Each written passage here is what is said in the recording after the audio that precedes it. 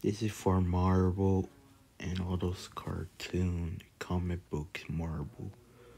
The Marvel Comics characters comics life.